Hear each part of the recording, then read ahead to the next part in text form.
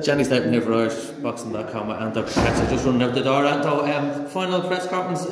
Good to have that kind of buzz and be back around Belfast. Yes, mate. Um, it's alright.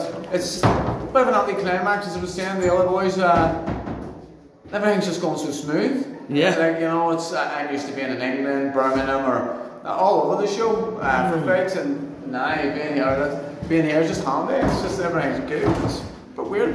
Yeah, uh, and it sort of it just feels a bit unfamiliar. That's mad, isn't it? The home feels a bit It's unfamiliar. weird. That's what I'm saying. It just doesn't feel like I'm really at home. I'm still like it's. I, I see the familiar faces and whatever else, but it, it kind of feels like I'm not fighting. You know, in, a, in a way. Yeah, but it's um, it's um, many times ago, and I, I, I am. I put in a real hard camp and, and trained hard, so to do the business. I made her a yellow. And he, a little bit disappointed that he's not here, like to kind of feed off that, or He was there. oh, was he just He not was top the- table? But he wasn't at the, he wasn't at the table. It was a bit weird. I wouldn't settle. Um, but I spotted him right through the crowd and.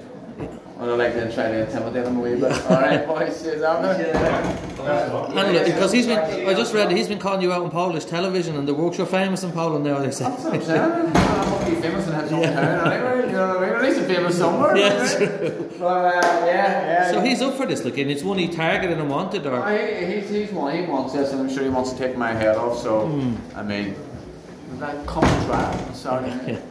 and so, again, he's been training in England and as well. Like he's Yeah. he's and he's he's set for this one. Like Yeah, he's been in Southampton. He, he comes away. He went away from Poland over to over to Southampton. does that allow you to get a bit of feedback on him, or I've heard No. stories of him. I heard, Yeah. a story, I heard a story yesterday. Uh, he was in doing a bit of sparring with, uh, I'm not saying who he's from, but Dennis McCann, and, and, he, and he was taking a pasting. So oh, okay.